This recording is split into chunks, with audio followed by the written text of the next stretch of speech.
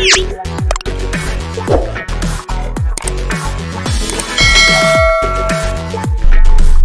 okay, so guys, welcome back to my channel bersama saya Edri Bro. Oke, okay, jadi hari ini teman-teman saya akan berbagi lagi kepada kalian tips and trick bagaimana caranya kita mengembed YouTube subscribe button ke dalam website kita. Caranya cukup mudah. Nanti teman-teman tinggal pergi saja ke developer.google.com slash youtube slash youtube lagi. Kemudian underscore subscribe dan underscore lagi bottom gitu ya.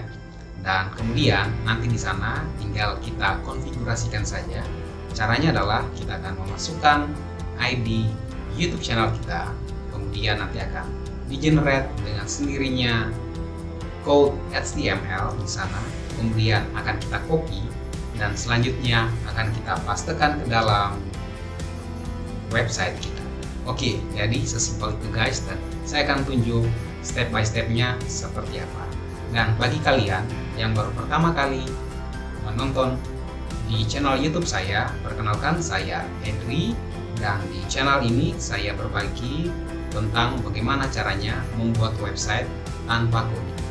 Bagi teman-teman yang mungkin tertarik, silahkan saja dilihat-lihat di channel saya, video-video yang ada. Sekiranya itu bermanfaat silahkan di share dan kalau kalian suka tinggal di like aja dan juga di subscribe oke dan tanpa berlama-lama lagi saya akan menunjukkan bagaimana caranya step by step. Oke sekarang kita langsung ke screen laptop saya. Oke nah sekarang teman-teman kita akan mengakses yang namanya itu adalah developer yang ini ya developer.google slash youtube dan lain-lain nanti saya akan cantumkan di dalam deskripsi video ini. Oke, kemudian di sini kita lihat ini adalah ID dari the developer ya, yang menuliskan seperti ini. Uh, saya sudah mencoba juga menulis misalnya nama saya, nama YouTube saya, saya ketiknya dulu BRW. Nah, namun sayangnya di sini terjadi kesalahan. Itu yang tadi saya katakan, kita harus menginput ID dari uh, YouTube kita ya. Dan di sini channel name or ID. Nah, kita langsung saja ke sini guys. Nah, caranya nanti kalian tinggal klik saja apabila ada di YouTube. Tinggal klik saja ini, kemudian nanti klik setelan, maka secara otomatis Anda akan dibawa ke halaman ini. Setelah itu, tinggal klik setelan lanjutan, maka di sini kalian akan mendapatkan ID pengguna dan ID channel kalian. Cukup mudah, tinggal klik salin, maka secara otomatis ID Anda akan tersalin. Kemudian sekarang saatnya kembali lagi ke konfigurasi bottomnya dan pastekan di sini. Oke, setelah Anda paste, maka nanti akan muncul uh, reviewnya di sini ya teman-teman. Sekarang belum muncul. Kita coba ubah dulu ke full oke? Sekarang sudah muncul. Kalau kita ke default kalau default maka seperti ini tampilannya layoutnya ya. Kalau full maka ada dengan uh, logo atau wajah kalian. Tergantung apa yang uh, kalian pakai ya. Gitu. karena saya pakai itu itu maka ini yang muncul kemudian untuk timnya kita hanya diberikan dua pilihan yaitu default dan juga dark.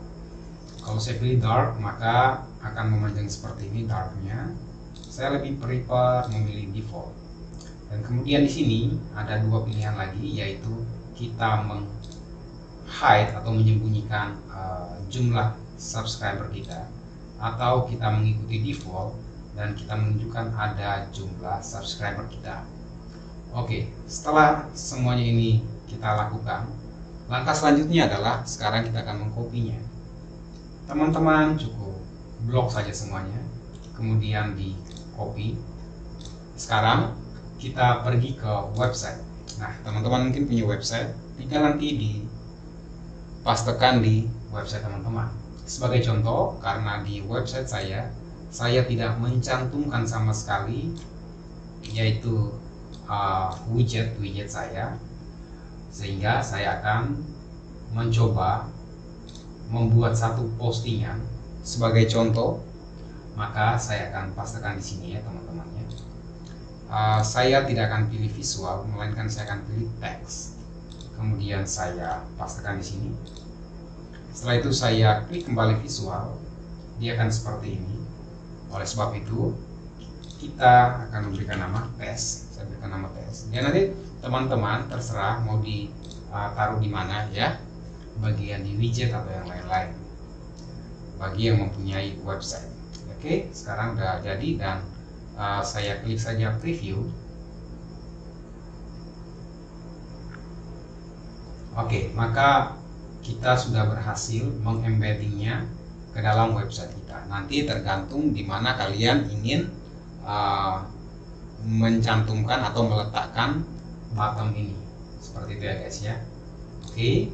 Dan uh, seperti itu. Dan misalnya kalau kalian mau uh, ubah-ubah lagi kalau misalnya kalian paham dengan uh, coding-coding ini tinggal uh, kalian bisa kembangkan lagi mungkin gitu ya. Uh, tapi karena saya nggak begitu paham kalian bisa kembangkan sendiri dan uh, hanya itu saja teman-teman semoga video ini bermanfaat untuk kalian dan oke okay, gitu saja cukup simpel ya cara uh, mengembed bottom YouTube ya gitu ya ke dalam website kita. Nah kalau ini bermanfaat tinggal di share aja ke teman-teman kalian. Kalau kalian suka tinggal di like dan juga jangan lupa kalian mensubscribe channel YouTube ini untuk mendapatkan video-video terbaru dari saya. Oke, saya Edri undur diri dan sampai ketemu lagi di video-video selanjutnya. Bye.